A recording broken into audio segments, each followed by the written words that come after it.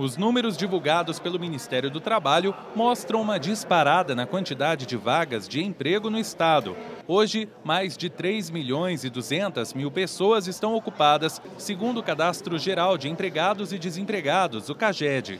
O Paraná ficou em segundo lugar no país como o estado que mais gerou postos de trabalho em julho, com 14.185 vagas. O estado só ficou atrás de São Paulo, que gerou mais de 61.800 empregos. Atrás do Paraná está Santa Catarina, com mais de 11.100 oportunidades, e estados mais populosos, como Minas Gerais, com 11.100 vagas, e Rio de Janeiro, com quase 10.600 empregos. Somente em 2024 foram mais mais de 124 mil novas oportunidades. É o estado que mais recebe as grandes empresas hoje pela segurança que dá essas grandes empresas.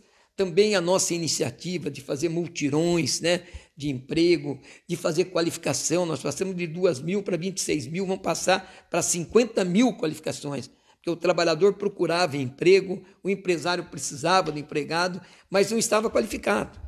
Então, o Estado, através do governador Ratinho Júnior, está investindo pesadamente né, na qualificação para que nós podemos, possamos entregar para as empresas né, esses funcionários que querem trabalhar e não tinham qualificação para ocupar as vagas existentes nas nossas agências trabalhadoras. Os setores que mais empregaram no mês de julho foram o da indústria e o de serviços. A expectativa é ampliar a quantidade de vagas. A qualificação é o maior objetivo nosso, né? Tanto é que nós compramos todas as carretas de conhecimentos, tanto do SENAC como do SENAI, justamente para que nós possamos qualificar o maior número de pessoas que estão querendo trabalhar. O que, que acontecia antes? As qualificações não chegavam ao interior.